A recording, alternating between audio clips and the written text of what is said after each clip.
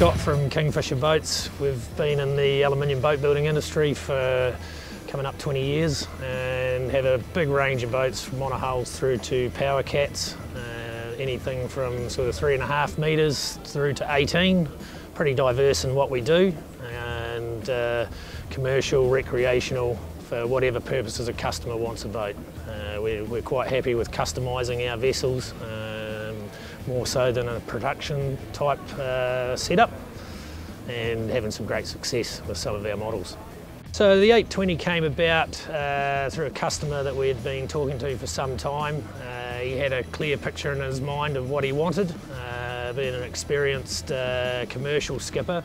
He's looking for a boat to use for his retirement, um, set up primarily for fishing day trips uh, out of the east coast of uh, New Zealand. Um, looking to head to the Ranfurly banks, he wanted a functional boat uh, with, with good performance and uh, we worked with him on this and uh, we, we believe we've come up with a winner. So we, we chose the, the Honda BF250s. Uh, this is the D series engine, uh, just released with an electronic drive-by-wire throttle, uh, shift and throttle system.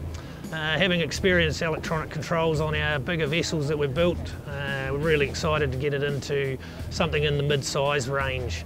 Uh, on top of that, just the, the fuel efficiency of the of the Hondas um, was really the plus point that that we we thought this vessel deserved.